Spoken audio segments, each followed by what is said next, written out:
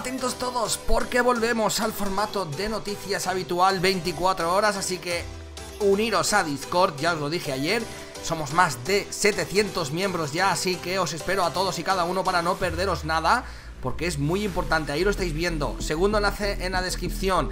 Y una novedad de las noticias. Tendremos mi opinión personal siempre al final de todas las noticias.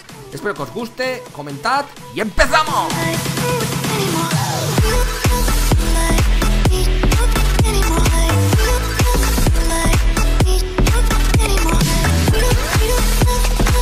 Muy buenas chicas, muy buenas chicos, soy Prito y estamos en una nueva noticia importante de Xbox. La responsabilidad que tiene la compañía, así lo han dicho.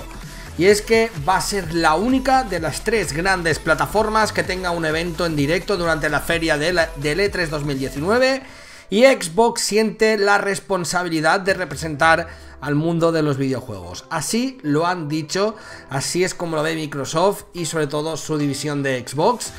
Phil Spencer, manda más de Xbox, ha querido tomar y hablar sobre todo de esta gran responsabilidad. Dice que esto va a ser interesante, que son los únicos fabricantes con un show en vivo sobre el escenario, solo nosotros.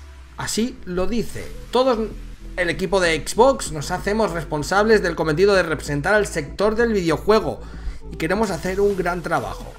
Recordad que la conferencia de Microsoft es el 9 de junio a las 10 de la noche, hora española. Eh, estaremos en directo, lo haremos en directo en nuestro canal de Twitch, así que todos a seguirnos en Discord ahora mismo, segundo enlace en la descripción, porque ahí lo publicaremos todo, todo, todo.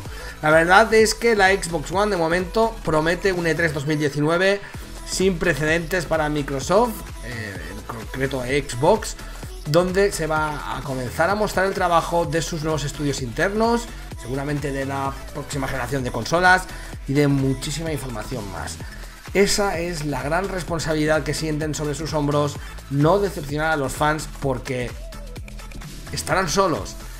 Y si en un E3 donde van a estar solos decepcionan a los fans, pues ya tendría tela. Así que seguiremos informando como siempre. Muchísimas gracias a todos por estar ahí.